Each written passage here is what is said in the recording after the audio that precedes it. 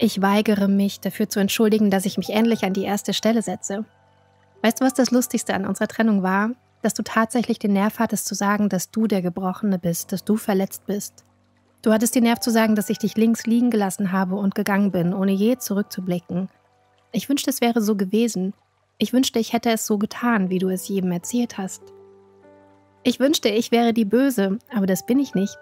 Denn monatelang hast du mich ausgezehrt, monatelang hast du dir nach Belieben alles von mir genommen.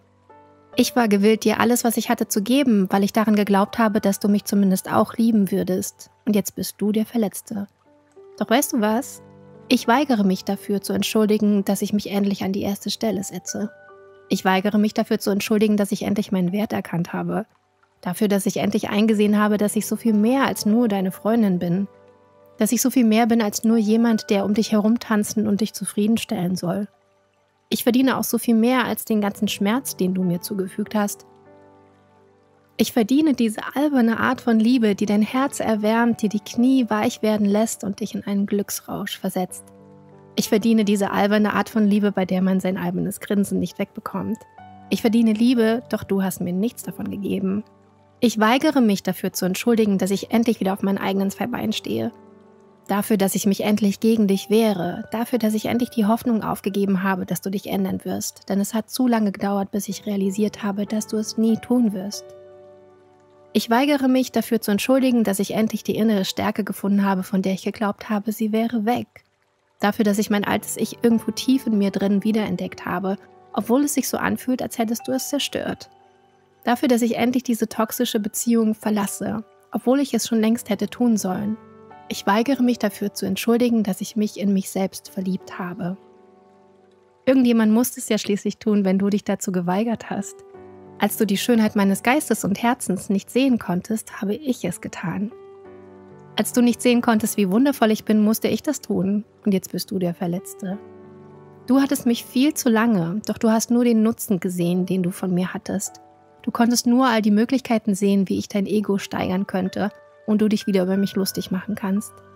Nicht einmal hast du dich gefragt, ob ich vielleicht so geküsst werden möchte, als gäbe es kein Morgen. Nicht einmal hast du dich gefragt, ob ich mich neben dir schön fühlen möchte.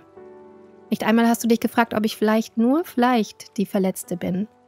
Ich weigere mich dafür zu entschuldigen, dass ich mich endlich für mich entschieden habe.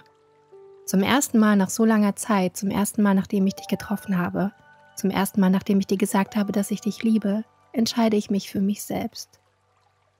Zum ersten Mal entscheide ich mich für meine Bedürfnisse, meine Vernunft und für mein Herz, nicht für deins. Und zum ersten Mal fühle ich mich so verdammt gut. Ich habe das Gefühl, als ob ich alles machen könnte, als ob ich ein ganzes Buch in einer Woche schreiben könnte. Ich habe das Gefühl, aus einem Flugzeug springen zu können. Ich fühle mich lebendig, ein Gefühl, welches ich schon sehr lange nicht mehr hatte.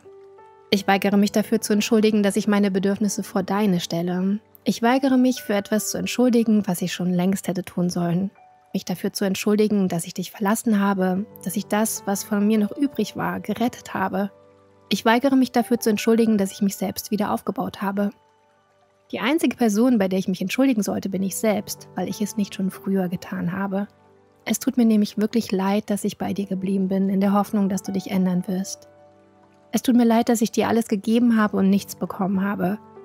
Dass ich dich mehr als mich selbst geliebt habe, nur damit du dann diese Liebe wegwerfen kannst dass ich dich zu einer Priorität gemacht habe, während ich für dich nur die zweite Wahl war.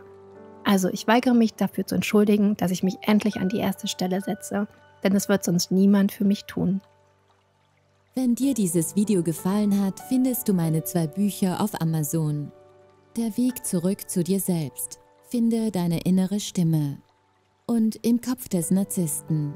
Schlage ihn mit seinen eigenen Waffen. Du findest die Links unten in der Beschreibung des Videos. Vielen Dank.